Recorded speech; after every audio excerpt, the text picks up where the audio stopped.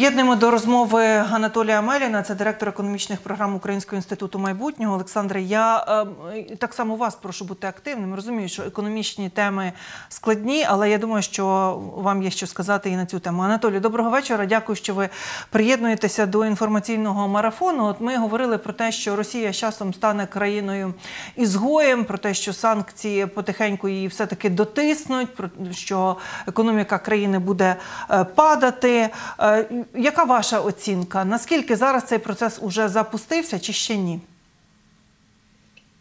Е, цей процес запустився, і це підтверджується тим, що сьогодні санкції, які застосовані до Росії, зробили її чемпіоном у цьому змаганні, і вони навіть мають більш санкцій ніж Іран та Північна Корея. І цей процес е, він буде мати завершення тільки тоді, коли в Росії буде змінена влада, або ця країна припинить існування. Оця інформація про те, що повномасштабне вторгнення в Україну відкинуло російську економіку на 4 роки тому лише за один квартал, на 4 роки назад за один квартал. Це Блумберг написав. Скажіть, будь ласка, е, достовірна така от аналітика, на вашу е, думку, і як далі буде прогресувати це відкидання? Е, це залежить від того, як вони рахували, але дійсно, е, ті санкції, що застосовані до Росії, е, обмеження, які мають на придбання сучасних технологій, сучасного обладнання, створюють дуже великі перепони задля розвитку Росії. І я вважаю, що відставання від західного розвиненого світу для Росії буде більш велике ніж ті чотири роки, які назве Блумберг. Це буде більш глибока прірва, яку Росія не зможе здолати наступні 10-15 років. Е, де зараз шукає контакти Путін? Те, що я бачу, ну активні переговори з Ердоганом, Туреччина як така фінансова гавань. Турція стала одним з хабів для так. паралельного імпорту. Це через Турцію. Вони вже постачають до Росії цілу купу обладнання, яка яке заборонено до постачання в Російську Федерацію. Але є дуже цікава інформація. Турецькі компанії з турецькими власниками не дуже хочуть працювати з Росією, тому росіяни отримують е, від на жительства в Турції угу. і створюють компанії. Та через компанії, які контролюються російськими громадянами, вони постачають у Росію обладнання та інші матеріали. Індія так само дружня до Росії країна. Що скажете, наскільки тут може бути економічна Я б не казав, що це дружня для Індії. Це можливість заробити гроші. Вони вони купляють російську нафту, купляють з великим дисконтом більш ніж 30% і намагаються продати нафтопродукти з цієї нафти по усьому світу. Це лише бізнес, це не є дружба. І Китай і Індія вони намагаються заробити на Росії і обкрадають її. Ну, як ви оцінюєте після нещодавних візитів до Тайваню Ненсі Пелосі, конгресменів Сполучених Штатів, е, Китай буде більш прихильний до Росії, чого очікував, власне кажучи, Путін, і в економічному, і в військовому плані? Я вважаю, що політику Китаю треба розглядати більш широко для Китаю.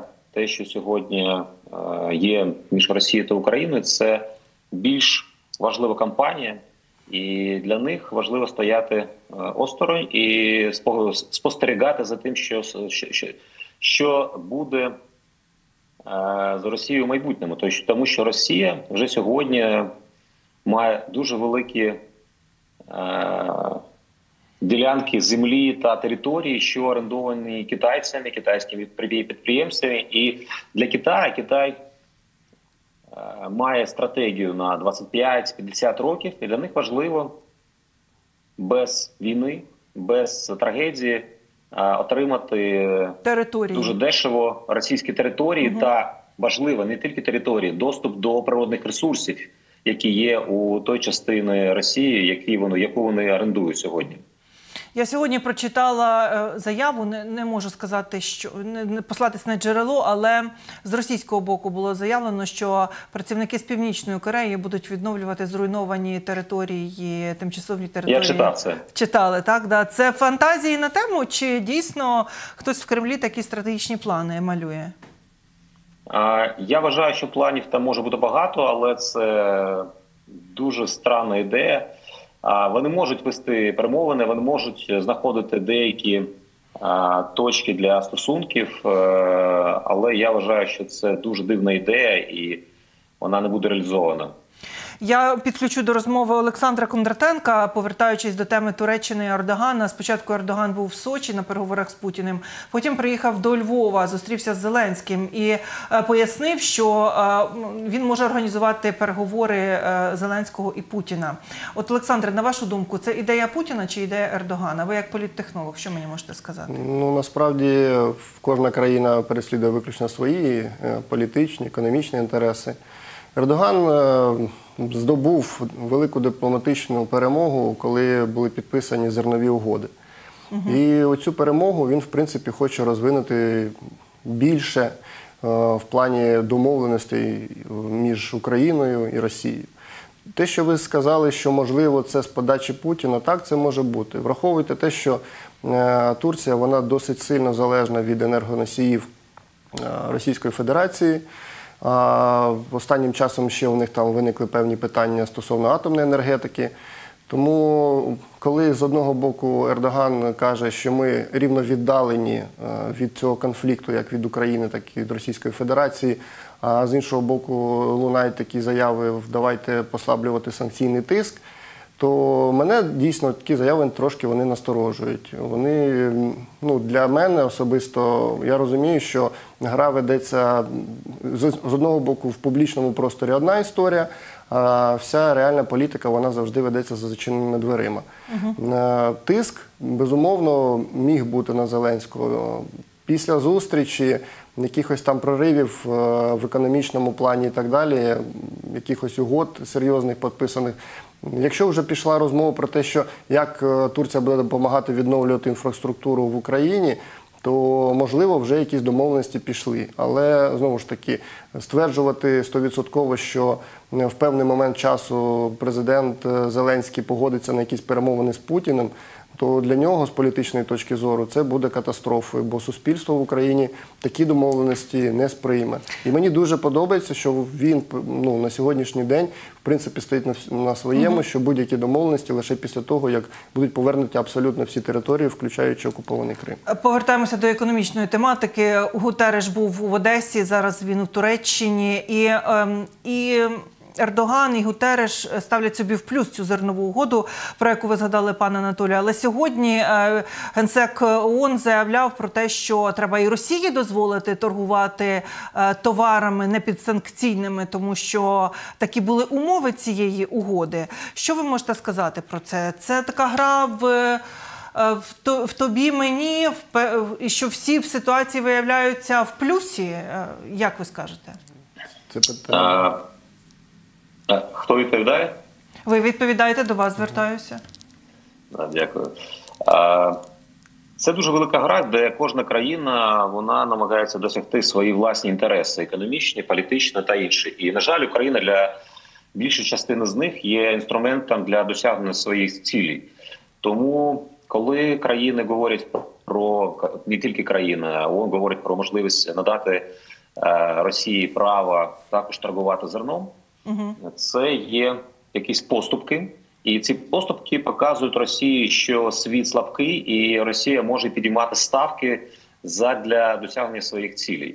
Тому я вважаю, що жодних жодних поступок Росії не може бути, поки є е, продовження агресії і є присутність російських військ на українській території.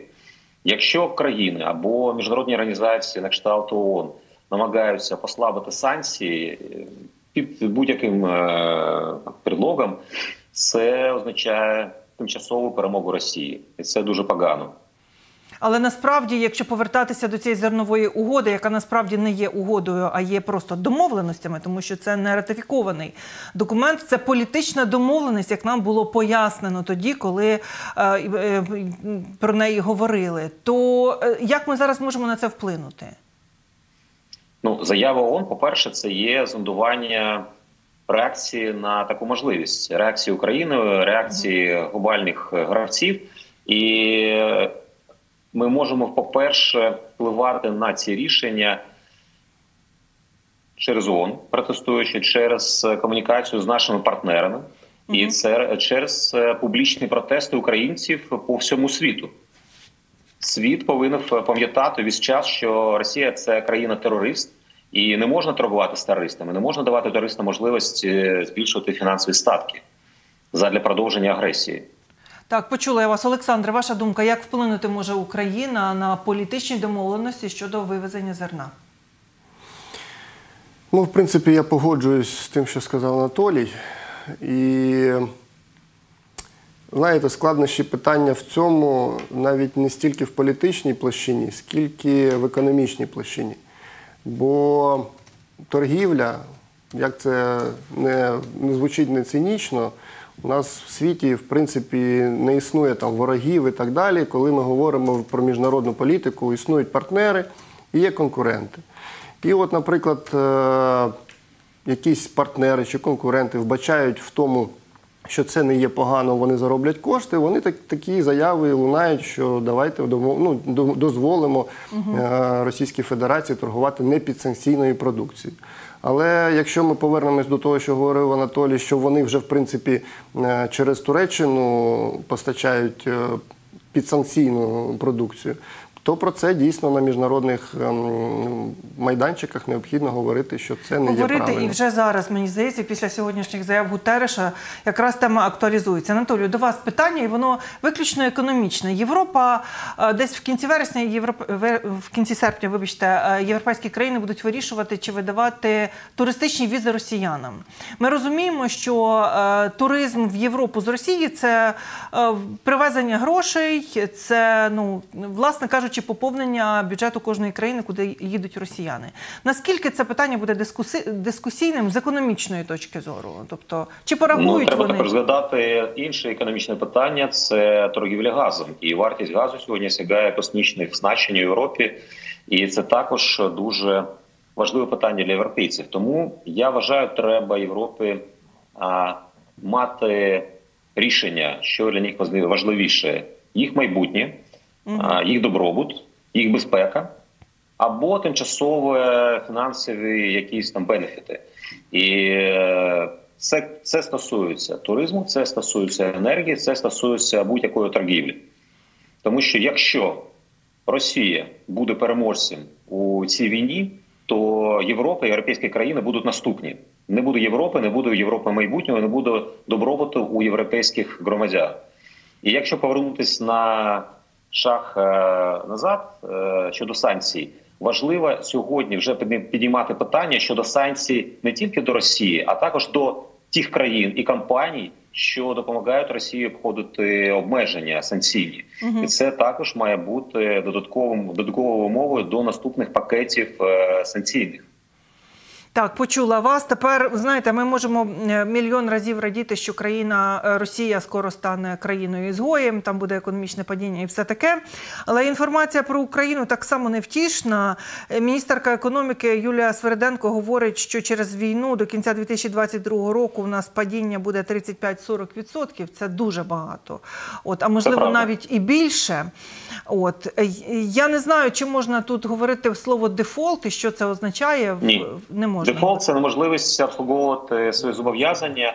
Ми вже ведемо перемовини щодо реструктуризації наших боргів. Це нормальна ситуація під час війни. Але дійсно ситуація важка. і Без е, зовнішньої допомоги нам буде важко пройти зиму і витримати тиск з боку Росії. Росія, згідно з е, дослідженнями, яке проводив Український інститут майбутнього, має резерв міцності полтора-два роки. Не знаю, який резерв міцності в Україні. Мені здається, без зовнішньої допомоги він зовсім невеликий. Але я хочу вас Я не буду коментувати. Не будете коментувати, ясно. Я хочу зацитувати вас, щоб ми поговорили, як же рятуватися в цій ситуації, як е, е, платники податків, як їм допомагати, а саме з бізнесом комунікувати. Цитата Амєліна. Бізнес на межі виживання. Споживчий ринок скоротився на 40%. З України виїхали 6,5 мільйонів осіб. Спочатку повномасштабного вторгнення е, Росії серйозно постраждали зруйновані понад 200 виробництв, з яких понад 30 великих підприємств. Інфляція 20%. Мені здається, вже навіть більше, ніж 20%. То який же порятунок? Ну на той час, коли я писав це- це- цей текст, е, було 20%, і я наскільки пам'ятаю, маю лінк е, щодо підтвердження цієї цифри у своєму пості. Так, ситуація дуже важка. І щодо підприємців, і щодо економіки, важливо пам'ятати, що економіка це є той фундамент, на якої базується українська безпека. Наша армія вона живе не тільки і не стільки за рахунок зовнішньої допомоги. А по-перше, це допомога українського бізнесу. Ми пам'ятаємо у перші дні війни. Саме українські підприємці, українські компанії та, та українці допомагали армії. Заплатили податки наперед деякі компанії. Заплатили податки наперед, вирішували масу питань логістичних, технічних так далі. Покупали, купували дрони. Я знаю, що українці також допомагають організовувати Україну логістику спеціальної техніки. Не буду як казати, які. Мгм. Це не держава робить, це роблять українці, і також те, що робить держава, вона робить за рахунок українських податків, е, які платять е, український бізнес та громадяни. Тому дуже важливо сьогодні є прийняття е, стратегії економічної, що буде давати можливість бізнесу виживати. Бізнес сьогодні не має грошей. Ці гроші також забираються податковою, тому що останні три місяці не повертається ПДВ. І сума, яка сьогодні е, вимита з е, обігового капіталу компанії, більш ніж 40 мільярдів гривень. Бізнес е, бере гроші в банках, платить за те відсотки більше 20%, а держава бере бізнесу гроші безкоштовно. Це нечесно, неправильно. Бізнес сьогодні не має доступу до кредитних ресурсів, тому що ставка національного банку більш ніж 25%. І це напряму стосується відсотків у банках. Більш того, дійсно, український е, попит він впав на 40%. І український бізнес потребує допомоги держави. Це антикризисна стратегія, це доступ до капіталу, це підтримка українських компаній не тільки до релокації, а також до реновації підприємств та допомога українським компаніям працювати з зовнішніми ринками та гарантування ризиків. Тому що сьогодні українські компанії мають іноземних партнерів, але для них Україна є червоною зоною, з якою працювати не можна, тому що дуже великі ризики. ризики.